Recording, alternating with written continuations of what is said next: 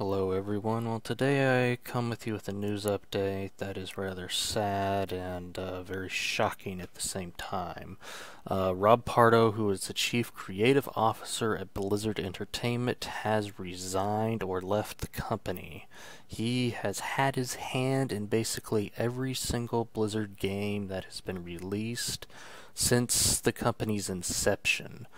Um, he previously was part of a guild in EverQuest, and he moved over to here along with uh. I don't know if many people remember him.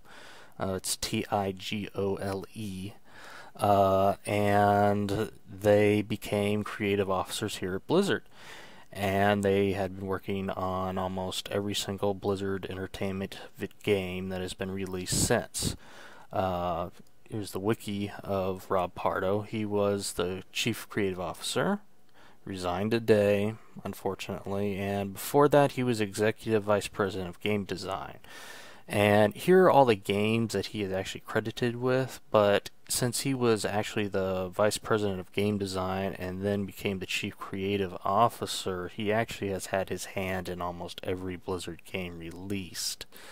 Uh, since he joined the company, which was 17 years ago. Uh, and here's the info about EverQuest. He was part of the guild Legacy of Steel, uh, and he met Tigole, who was Jeffrey Kaplan, and Tigole would go on to replace him and then join Rob later on when he was part of Blizzard.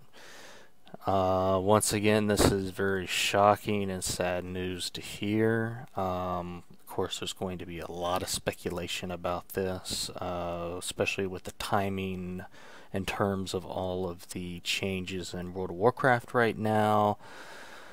But, I, I mean, just looking past that, it is just some sad news, and uh, wish Rob Pardo all the best.